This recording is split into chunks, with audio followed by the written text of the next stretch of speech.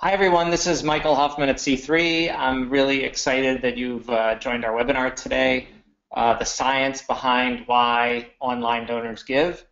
Um, and uh, we're going to get started in one minute. Um, just some uh, early thoughts. We have uh, some terrific material today, and I'm going to introduce um, our main speaker today, uh, Rich Levy from give2gether.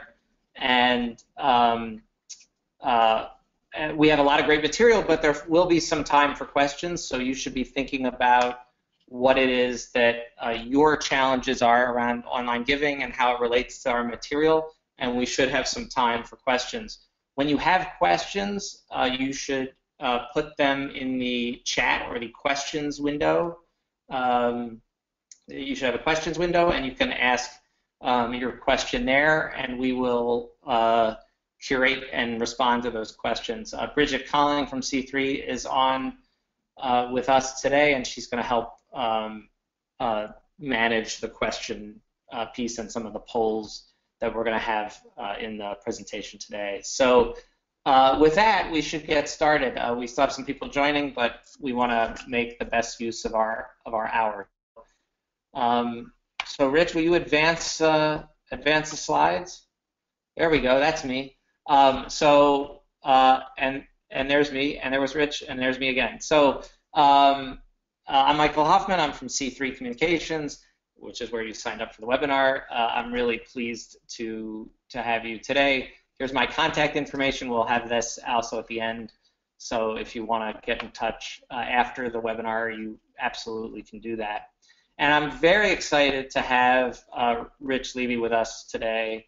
Um, Rich is somebody who uh, I've known for many years who uh, works in our space of nonprofit fundraising and has been working on a lot of things that he's going to present today about the science of of giving. You know, we know, and probably all of you have heard talks or read articles about the world of behavioral economics and behavioral psychology and um, and you know, people don't always do what they say they're going to do, and they don't always do things for the reasons that that they think they're going to do. And people like to think of themselves as very rational uh, people, but what we know is that the brain has its own ways of functioning. Uh, and the more that you understand that, the more that we know what those things are, the better uh, we can be as fundraisers. And so it's not about um, it's not about manipulating people, but it is about giving people the best opportunity to do the right thing. So we're all very comfortable in the work that we do, uh, and we believe we're we're doing things for good, uh, and so we can uh, do things to help our constituents, um, you know, do the most good. So, uh, so Rich is going to talk about that.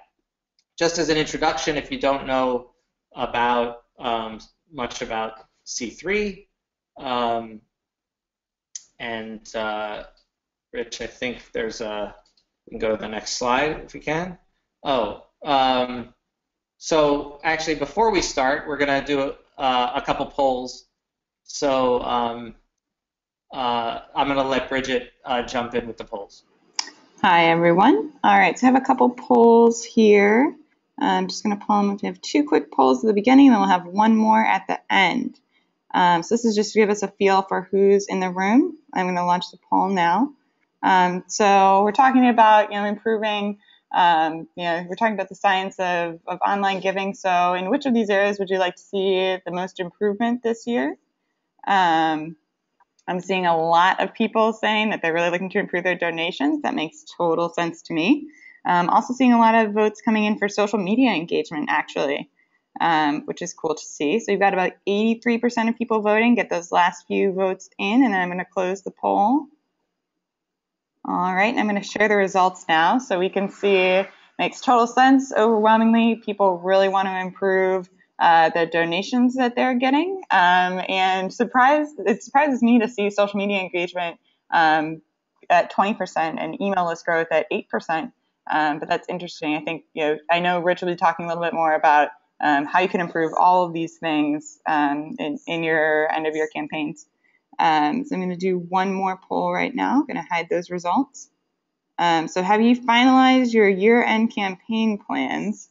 uh, something else we'd like to know. Just seeing, uh, you know, who's got all their plans in place and are totally ready to go, and uh, who is uh, kind of wondering what are we going to do in the next couple months. Um, seeing a lot of people with somewhat in place. Um, a good percentage of no help. Um, all right, get those last couple votes in. I'm going to close this poll. All right, I'll share these results now. Um, good to see a pretty even split between the somewhat in place and no help. So you know help people know that you are in good company. Oh, sorry, we're a dog friendly office. There's a dog in the background. I don't know if you heard. Um, so I'm going to close this poll. I'll turn it back over to uh, Michael, um, and we'll kick off the main content of this webinar. Terrific. Um, so uh, next slide. So uh, other way. Uh, great. So just a little bit about See3. Um, we See3 is a is the digital agency for do-gooders. We work with uh, nonprofits and causes to help people change the world. We uh, uh do campaigns and strategy, as and all digital engagement, as well as uh, video. We have a full in-house video production operation here. Uh, we believe video is really a key piece of the digital puzzle these days.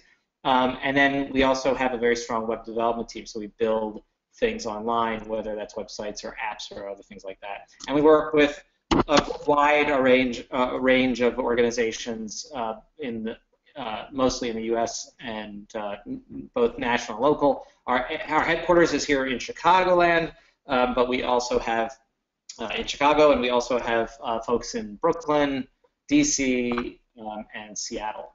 So uh, with that, I want to turn it over to uh, Rich. Rich, thank you so much for being here today and, and being willing to do this.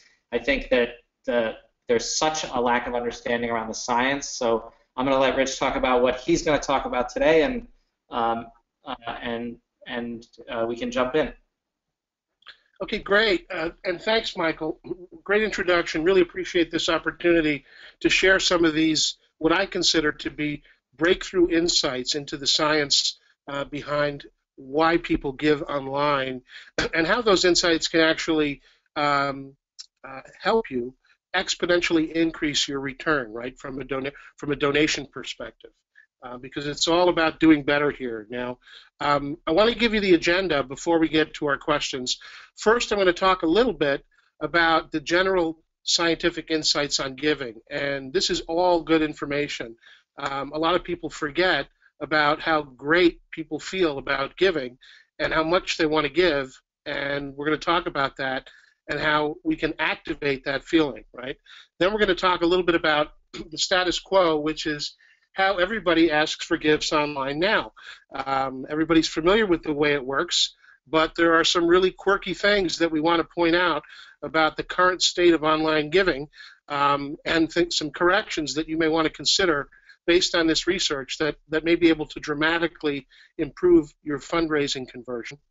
We're going to share those startling new insights, um, and we're going to focus with a laser like focus on how to emotionally engage your donors while you're asking them to give, because this is something that does not happen in today's day and age. It's a new technique, it's getting exponential results. Then we're going to talk about uh, taking the online donor and activating their network, right? Everybody they're connected with online. then we're going to talk about what I call the candy crushification uh, or the rewarding of your online donors, right? Uh, in other words, making them feel great and special uh, in unique ways to your organization. Uh, we're going to cover some really cool before and after results, and then we're going to throw it open for questions. Um, so I'm excited about this agenda. I know See3 is interested too. Uh, we're going to get right to it, okay? So if we talk about the general scientific insights that we've learned about giving, there are many, uh, and they're all good, right? So I want to share the basics, not the stuff that we're going to spend a lot of time with on, but sort of the feel-good um, background information that you may or may not know about online giving. Number one, um, Harvard Business School has studied this extensively, and what they find out is that it makes you feel really good, right? So that ought to be a positive thing. uh, for us as fundraisers. And actually, giving lifts happiness more than spending. And, and given the amount of time that people spend spending and giving, I think that's a great thing to get grounded on. Okay, so that's number one. Number two, there are a tremendous number of studies say, that say that um, giving actually increases health benefits. And this has been proven in lots of different places, right? It doesn't just make you feel good and be happy. That uh, endorphic release and that reduction of stress has actually proven to fight chronic illnesses like HIV and MS. And this has all been proven um, statistically. Uh, even giving your time, such as elderly volunteers, uh, they are 44% less likely to die over a five year period when they're involved in giving their time uh, as well as their money. Okay, so another fantastic benefit to giving. Okay, um, there are some tremendous uh, uh, cooperation and connection links here too. Uh, and when you give more, you're really likely to get back, and your generosity is likely to be rewarded down the line. Sometimes by the person you give to, and sometimes uh, by other people. And we're going to have more to talk about that as we get into the presentation with specific techniques. Um, giving also evokes gratitude. Uh, when folks express their gratitude, um, they strengthen their, their um, connections, they boost their own positivity, and they boost the positivity of everybody they're connected with as well. And the other thing that's really cool is that giving is contagious. And given the fact that we are now in a social media related world and an online world, and that online is the channel that is growing uh, at a really high rate compared to the other more traditional channels, this is really important. We're going to focus a bunch of time on this about the ripple effect, right? Um, so that when we give, we don't only immediately help the gift recipient, we also spur a ripple effect through our community. And uh, we're going to have some very cool things to share about that.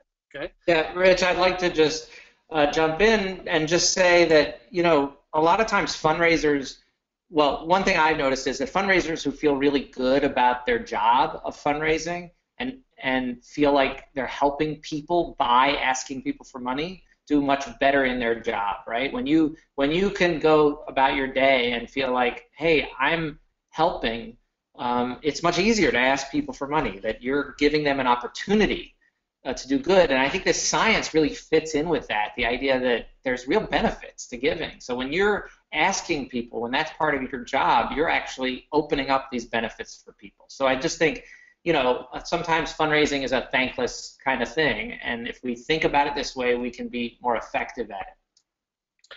That's really that's really helpful, and uh, that's part of the general research that we've done that we like to share because it's not just uh, a great thing to do; it's something that actually makes everybody feel much better when they're engaged in it, and that's a big deal. It, it's it, it, there's a warm glow effect here that's very powerful.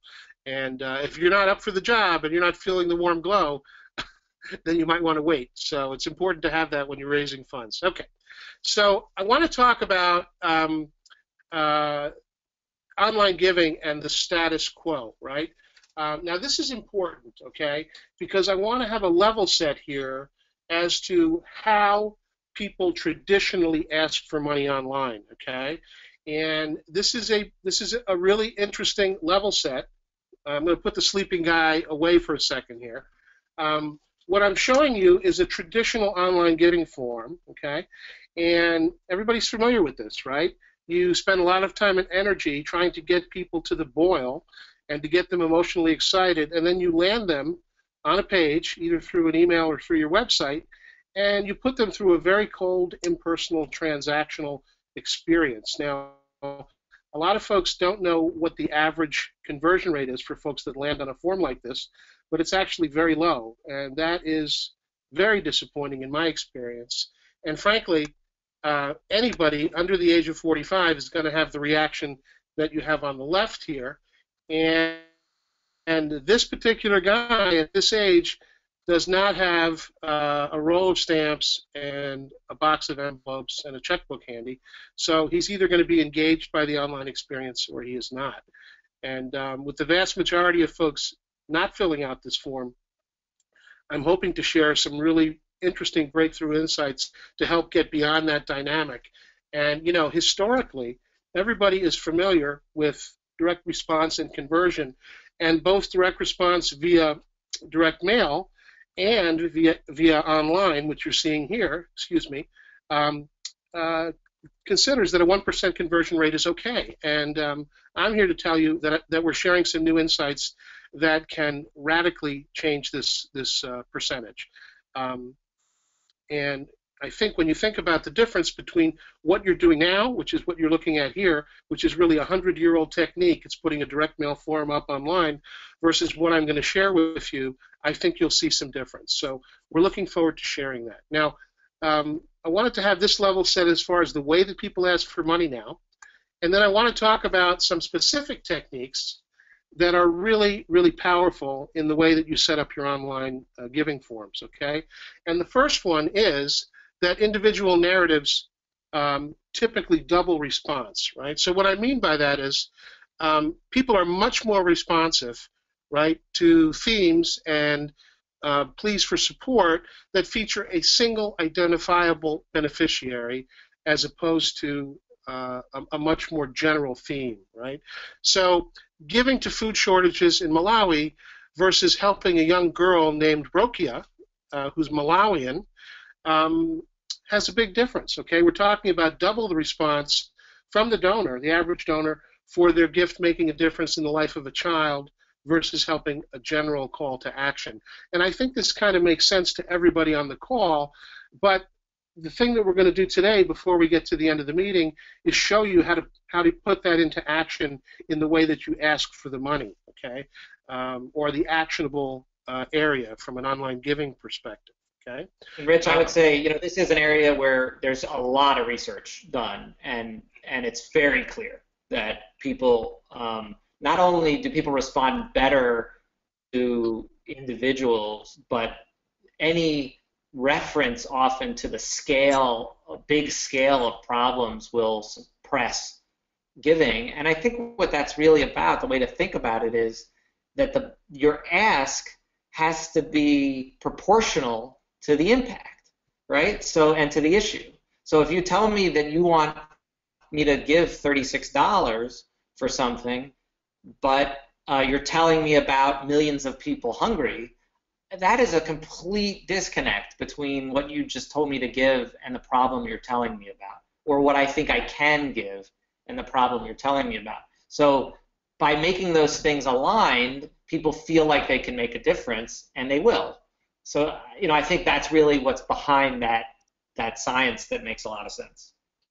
And I agree with that completely, Michael. And what the, just so you know, I mean, an additional piece of that research that I think is really powerful and proves exactly what Michael is saying is that if you add even a second child, right, to the ask or an animal, it radically decreases the amount of the gift. So this is this is really important stuff that we're focused on here. And to the extent that what you do sticks to this theme, you're going to be more successful. Uh, the other thing that we'll cover are some specific techniques by way of suggestion about uh, letting the donor know how much it costs to feed a child or to save an animal. And then they're also much more likely to make a gift in line with what that amount is. But we'll cover that in just a few moments. Okay? Um, nice thoughts there, Michael. Now, from a, a call to action standpoint, it's also incredibly important to um, make these as urgent as possible, right? And what we talk about here, uh, and I'm sure Michael may want to weigh in on this, is you really do need, especially with the fourth quarter coming and there being a deadline here, right, to make your theme compelling, specific, and urgent, right? Okay, um, and you want to have uh, your donation form speak to that. Okay, so to the extent that you can actually inject um, uh, urgency inject uh, what I would call a punch to the gut and inject um, a deadline, you are going to be much more successful. Okay. And the um, only thing I would add here, Rich, is uh, something that I find that's incredibly frustrating to me, which is that um, organizations sometimes think that the compelling is the organization and not the the thing that the organization is trying to do. And so if you're helping puppies or kids or or homeless or whatever it is you're doing, that's what people care about. you're the conduit for them to enable them to do that work. And that's it. So you're really not the hero of the story. And we see that a lot. It's like, help us or help us do this as opposed to do this, right? It's and people don't care about organizations. They don't care about organizational brands. They don't want to support your organization. They want to support the work. And so, you know, I think that relates to this idea of compelling and specific. Uh, it's not about you, it's about the work.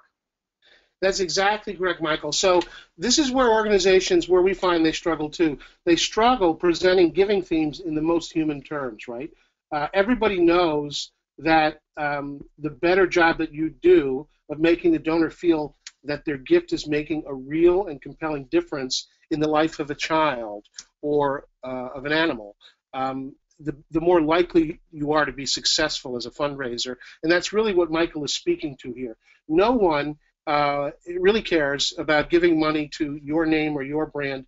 They, they're not interested in keeping the lights on and the building warm. They're interested in making the difference in the life of a child. And that's what we're referring to here. Okay. Now, I want to show you something that I think is pretty darn cool, okay? I'm going to talk about emotionally engaging your donors.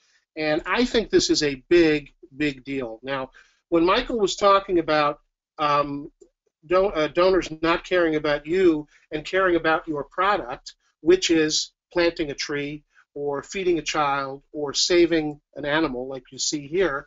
Um, what I want you to think about in the donation experience is telling a story to the donor about the great their gift would do. Now, I'm going to step through this for you in just a moment. And here you'll see a donation experience that shows the donor planting a tree, okay, in steps. Or it shows the donor feeding a child. Or it shows the donor freeing a dog. Okay, now I want to take a moment to actually show you this in real time because I think this is pretty amazing. Okay, so uh, I do want to show you how this technique has been embedded uh, in the kinds of approaches uh, that folks are getting better results from. So what you're looking at here is a is the actual technique being embedded in the donation form. And instead of filling in those 20 or 30 or 40 fields of information and having a 10 or a 15% completion rate, um, what nonprofits are experimenting with is having the donor move their mouse over a transformational image, right? And click on the amount they want to donate. Now, the eye moves from the top left to the bottom right. Watch what happens here. This is a Feed the Hungry campaign, and what's happening is the donor is seeing their great work, or if they would give a gift, right? So in this case, we're feeding hungry, and the donor is being emotionally engaged. Now, what's different about this experience versus a fill in the blank form? Okay, well, in a fill in the blank form, you've got five or 10 or 20 fields of information, no donor engagement. Here, you're showing the donor the great work their gift would do. You're engaging them, and you're locking them in with one click. Now, this set of techniques alone has been used in 1,200 campaigns so far, and on average, it has tripled the donor conversion rate. So um, I wanted to show you exactly what we're talking about theoretically in real and practical terms here. Okay. All right. Let's go back to the presentation, and uh, let me just bring it up again for you. So again, what kinds of themes work well here? Well, grayscale going to color, uh, empty going to full, uh, sad going to happy, before going to after, you get the idea. And this visual metaphor resonates incredibly well with the theme that we talked about before, which is the individual narrative, right? Help my dollar, um, help my gift plant a tree, help my gift feed a child, help my gift save a sick dog or a sick cat. And again, this is what the donor is interested in. They're less interested in you, uh, and they're more interested in the product that you offer and having you make this feel real and engaging to them. Okay? All right, so this is the first technique in action. Okay? Um, and by the way, that's across 1,200 campaigns, on average, triple the number of people who give, which is pretty amazing. Okay? All right.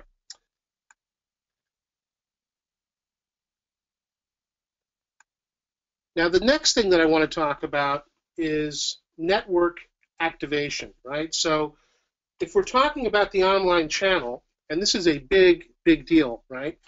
Uh, and we're talking about the online channel uh, today, and the online channel as the growth channel, which I think is is the point of the meeting today.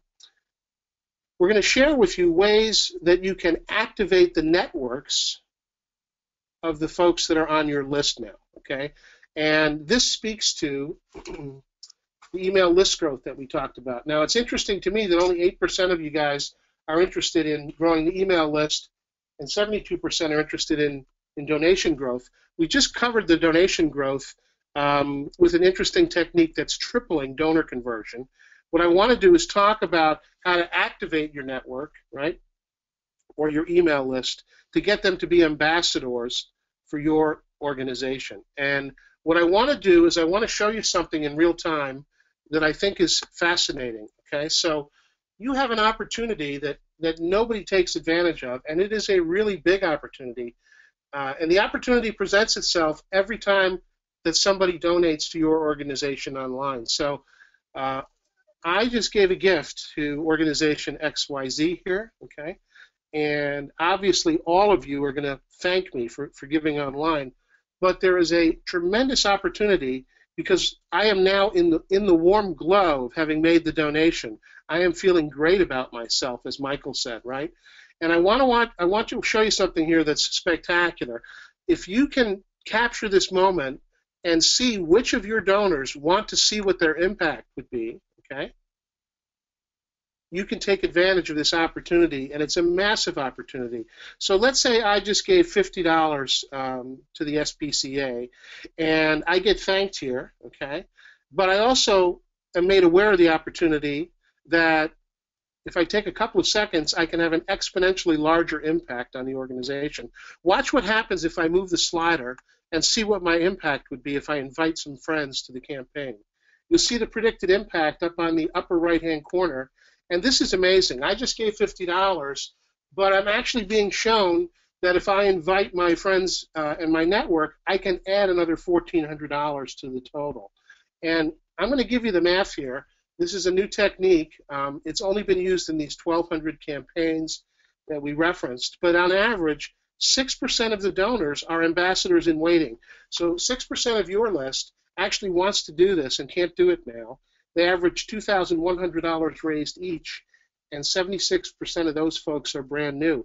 And that kind of makes sense because Rich is on your list, but his Pinterest scrapbookers and his LinkedIn connections and his Facebook friends are not. Now, if I'm one of those six percenters, this is what I do. I click on the invite button, and bear with me a second here.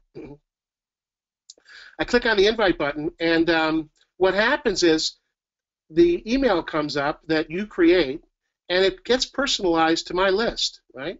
And it doesn't matter where my list is. It could be on my Mac or Gmail or Outlook, and I can also connect instantly to everybody that I'm connected with socially. So if we go back, and we're going to cover a case study in just a moment, uh, if we go back, this is how the growth comes about. And this is the email list growth standpoint. This is the donor acquisition uh, piece of being socially connected online. Okay, and I think this is very important, and I, I find it fascinating that we only got an eight percent bite on that portion of the apple. So uh, I think it's important that we share this uh, and that you guys are aware of this from a technique perspective. Okay, cool. Um, now, I want to show you something else that I think is important. Uh, and I know that um, Michael may want to speak to this as well because he's involved in this piece of the business uh, in a different way than I am. But um, I want to talk for a few, a couple of minutes about Facebook uh, because of just how huge uh, the network is and how many people are connected via Facebook to the folks that you're connected with online, i.e., your email list, right? So you may be a nonprofit that has uh, 5,000 or 25,000 or 250,000 Facebook fans, but you've had a tremendous challenge to do anything other than to get them to like you, right? And it's it's wonderful that they like you, um, but they really should figure out how to support you as well. And what we have found, um, just based on the technologies that we've worked with, is that if you integrate, do a good job of integrating a Facebook application, in other words, if you allow your campaign to live and to breathe and to update in Facebook without having to be tied to your website and without having to force your constituents to uh, go through your website to support you. In other words, they can just spend their time in Facebook and they can interact with you and your campaign and they can invite people to the campaign and they can see the campaign update in Facebook. We're actually seeing 8.5% of the traffic from Facebook donating, not liking, but donating. And this is this is strong. This is across 1,200 campaigns that we've seen this. And I haven't seen too many other statistically proven areas where you've gotten such strong results from Facebook.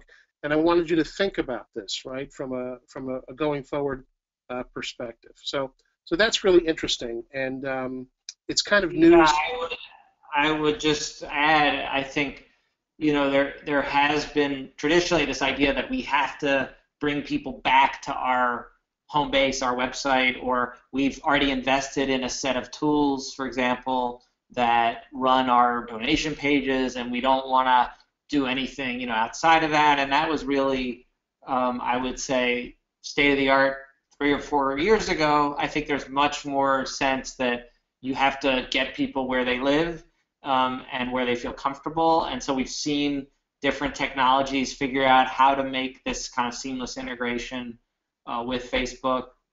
Um, and, and organizations become more comfortable with the idea that, hey, for this campaign, I can actually have this thing live over here and we can import the data when we need to, and we don't have to worry that much about it uh, in the way that you know we used to. That these things can be um, add-ons, and and it because what you care about, your internal compartments and categories and your rules and your hopes around your own data, nobody outside your organization cares about any of that, right? For the user, for the donor, it's all about their experience. And when you put that donor experience first and up front, you make different choices than when you put your IT people up front or or whatever. So I think that's that's a key here is just being do- donor centric and saying, you know, what experience would be best for that person that we're talking to on Facebook.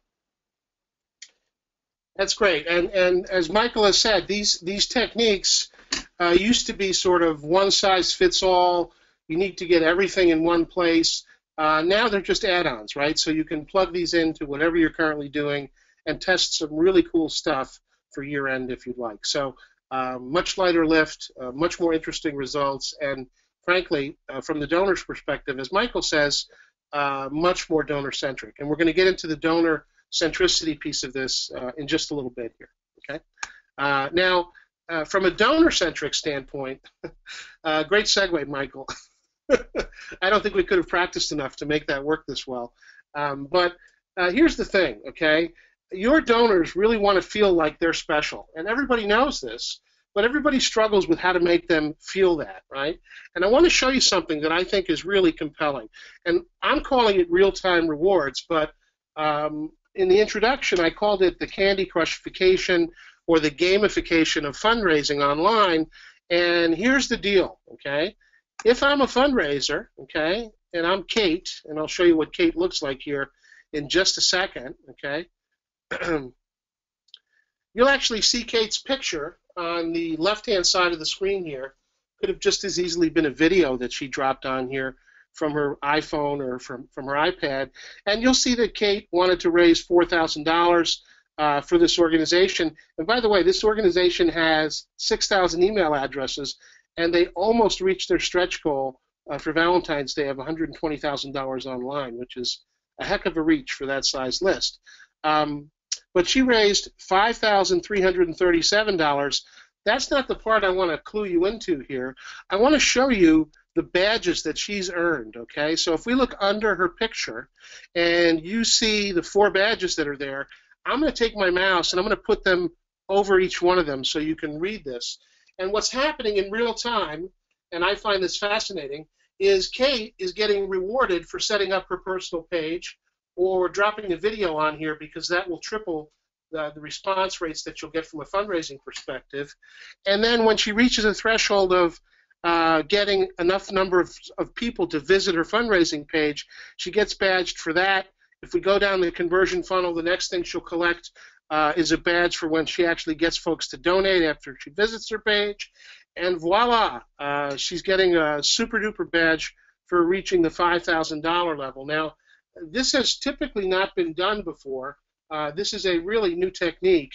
Uh, and to the extent that we've been able to test the data on this from a before and after perspective, this has ratcheted up the fundraising results an extra 51%. So I don't know if you've seen this, Michael, uh, before, um, but this is a new technique that we wanted to share as part of the session today because I think this is the future of online engagement. So I wanted yeah, to. I, I think you know, Rich, this is really interesting because I think that many of us have known that you know things like badges work and and have known that a lot of these things work in theory. And the challenge has always been you know integrating these things and how complicated it is to do it yourself. And i think that's i think just the, the fact that the tools are getting uh, easier uh, uh, less uh, less expensive to deploy the idea that you mentioned about um, being add-ons and being able to use add-ons in a way that you couldn't before. So I think all these techniques that you know we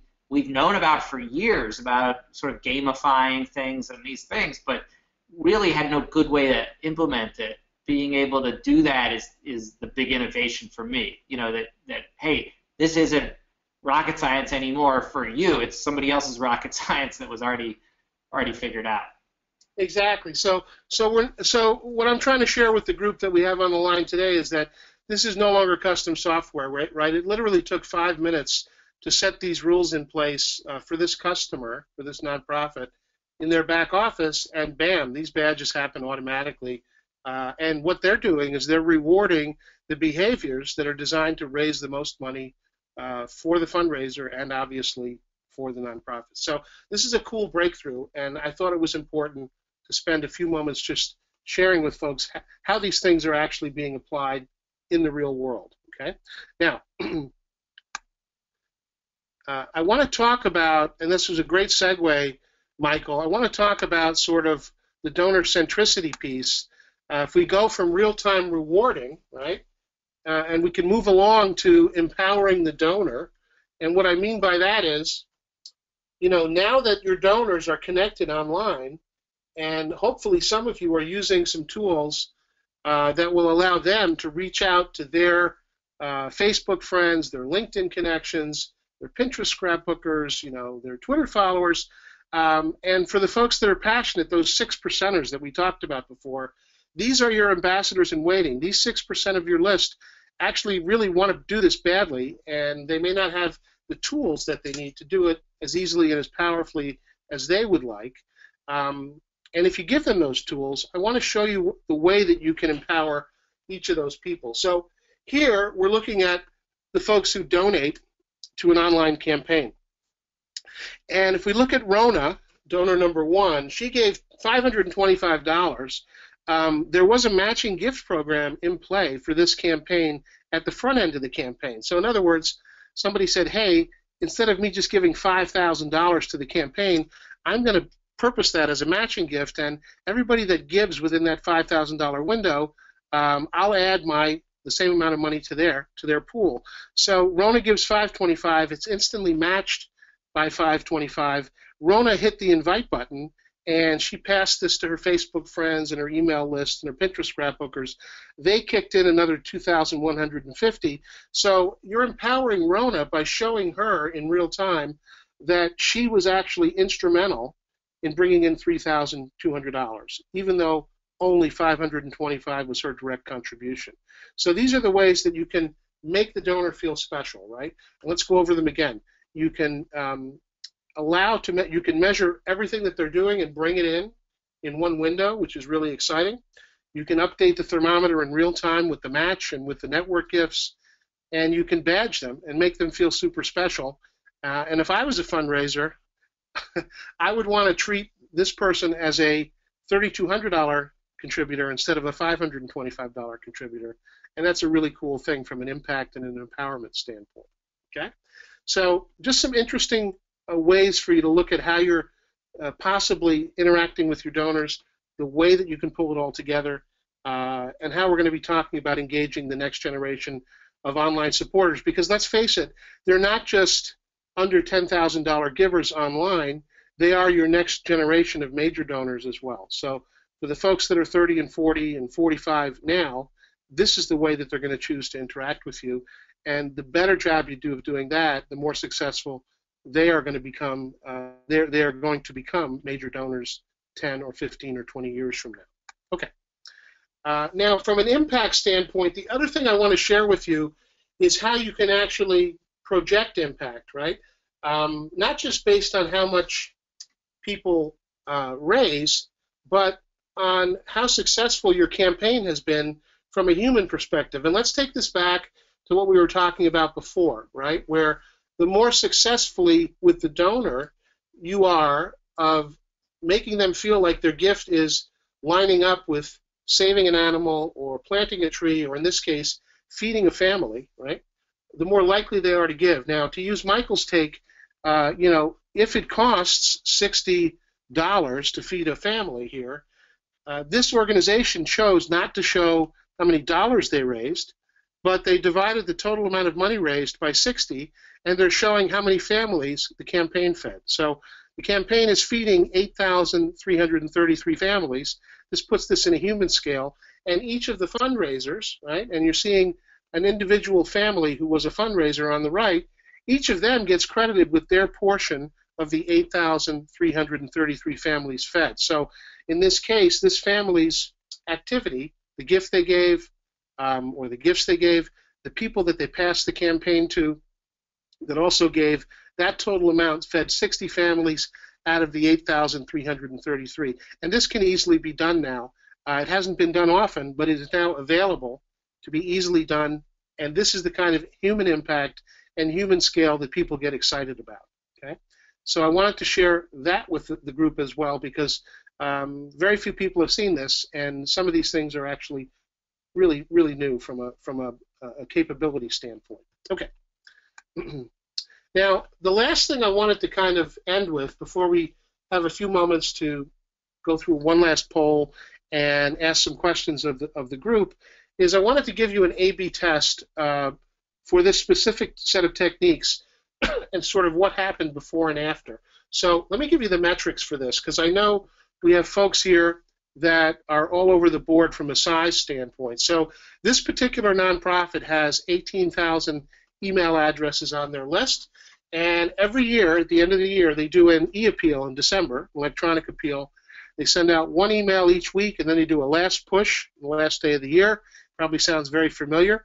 And with a fill-in-the-blank kind of approach, the traditional approach, they were never able to raise, and that's I'm talking about a fill-in-the-blank donor form, right? They were never able to raise more than $3,700.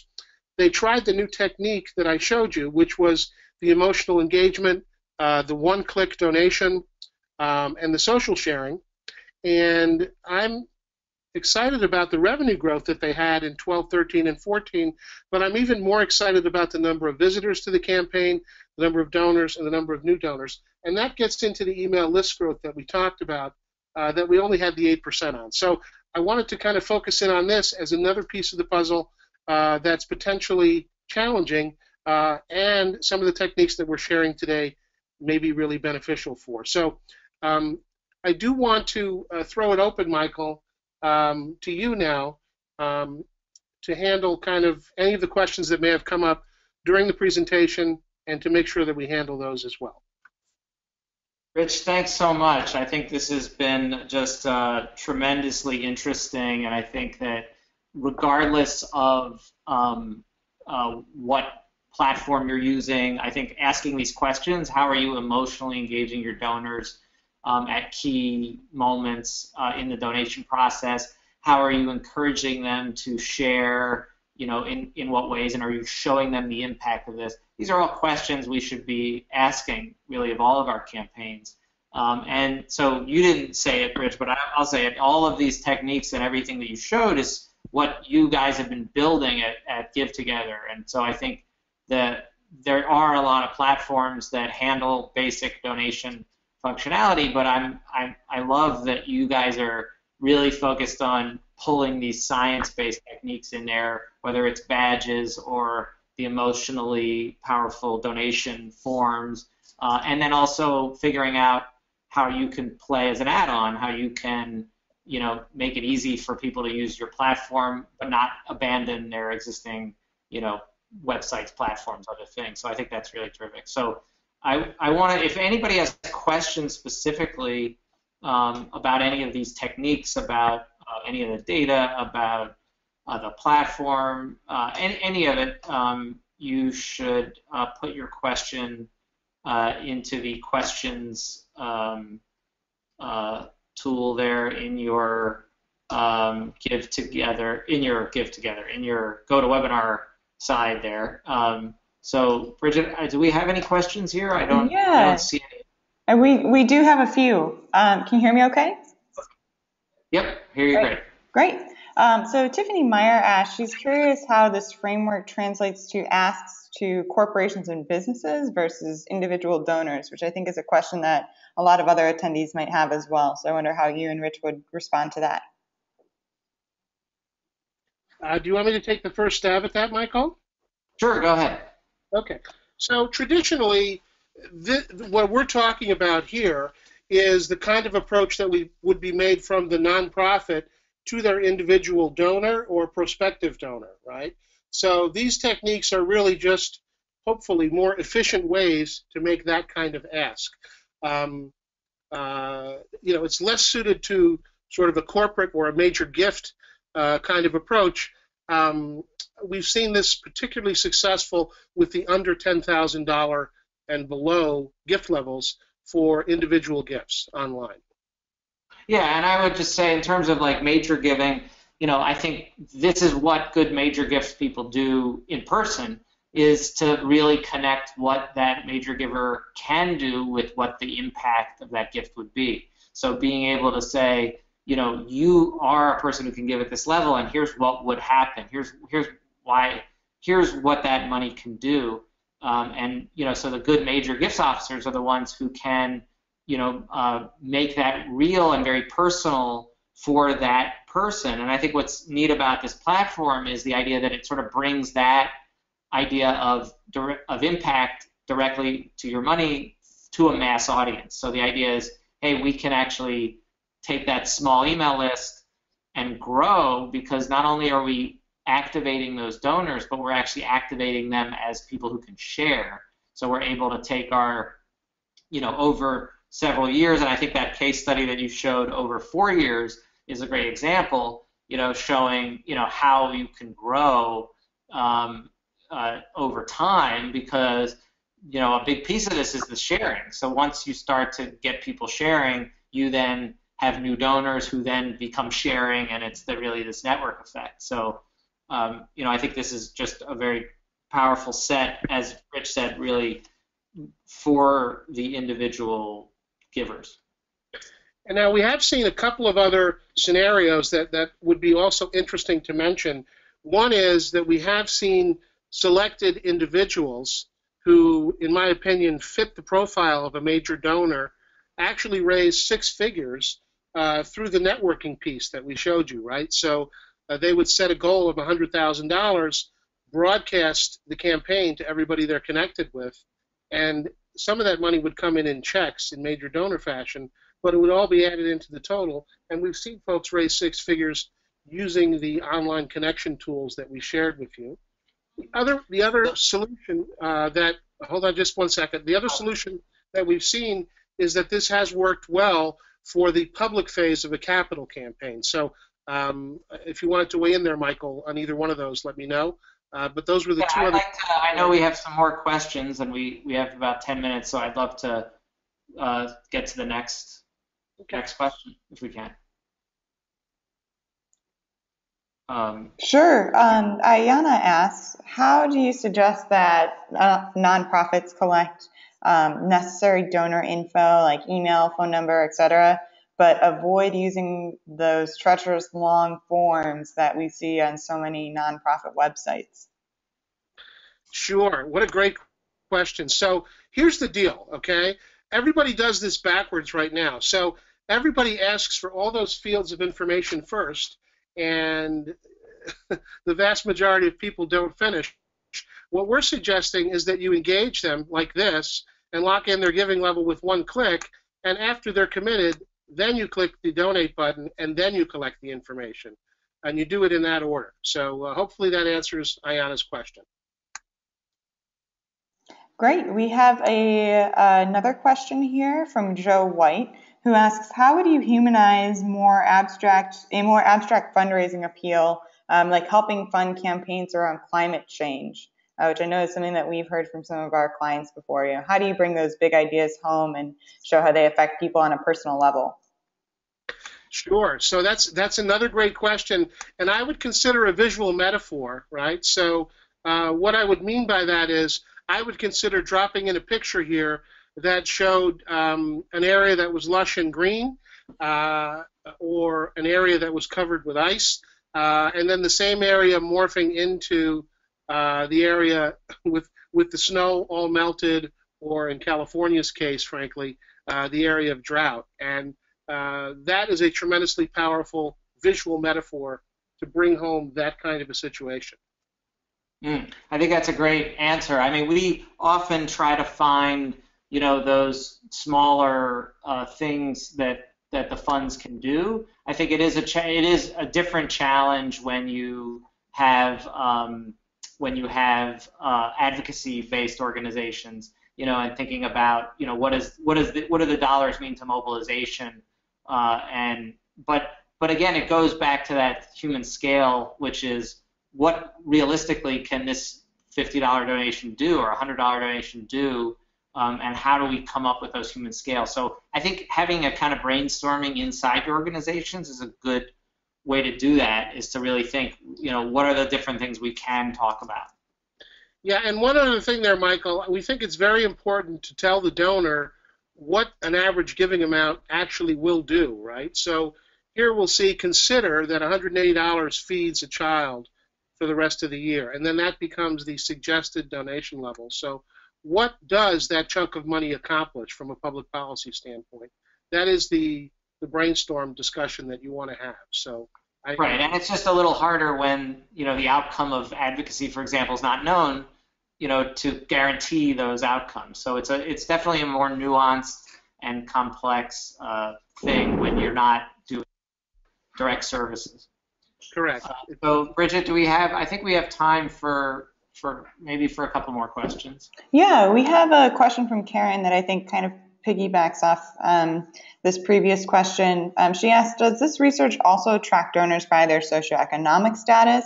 And how does this percentage of giving change by annual house, household income? And she also asks, how do the statistics change if the campaign is not about hunger, children, or pets? Ah, okay. All right. Well, there is a limit to the refinement of the analysis that we've been able to do, right? So, um, what we can tell you at a macro level is that across 1,200 campaigns, and those campaigns are across all different portions and kinds of nonprofits, social services, arts, uh, uh, you know, health, etc. Uh, on average, we have tripled uh, the percentage of folks who give with that kind of experience. The data has not been boiled down uh, much further than that from a analytics standpoint. Uh, it's too new. Okay, so I don't have that that uh, granular analysis for the asker. Okay, um, to answer the second portion of the question, uh, the real strategic exercise is is taking the organization's mission right and trying to humanize it as much as possible. Um, and that is the strategic discussion uh, that See3 or ourselves or whoever you work on this with should be having with you, or you should be having internally, uh, in order to make the, the product that you represent um, feel as compelling as possible to the donor. Yeah, and I think you know we've seen this for years. We've had this discussion with with uh, nonprofits around you know if we only had puppies, we would we would be great. You know, our fundraising would be easy. Um, and I think it is what Rich said there about turning it into human scale. And so we've done things where, um, for example, an organization that does legal aid or legal services. Well, the legal services themselves are not interesting in terms of uh, those kind of compelling emotional things. What's interesting is the family that needs the legal services because of an eviction or something that's going on with them. So telling that story and sort of getting to the root of, of what it's all about is is really often the key um, and not necessarily the actual uh, activity, right? So it's like going through the organization's activity to why it's why you're doing it in the first place and trying to to put some uh, sort of flesh on that story uh, there, and that that has impact. And you know we've had lot you know we've had lots of experience with uh, clients where we've made videos or we've done campaigns or other things you know over over you know the last years you know where we're where that's part of the process is really discovering what or what, what would they be comfortable in, in talking about and how do we how do we thread that needle so I think we have time for maybe one last question. Yeah, there's so there's uh, one last question that asks, what do these features look like on a mobile phone? And I want to, I'd, I'd love, Rich, for you to respond to that question, but then I'd also like to expand it and have both of you share, um, you know, what advice that you would want to give to nonprofits as they're going into giving season. Um, how can they make um, you know, thinking mobile first, a real central idea to their campaigns, and how can they really put mobile first thinking into action for their organizations? Okay, great. So uh, the good news is is that these techniques that we've shared with you, in other words, this kind of morphing and emotional engagement, has actually gotten to a point where it's really mobile friendly. So that's exciting. Okay, so it doesn't matter whether you're on an iPad or um, uh, you know.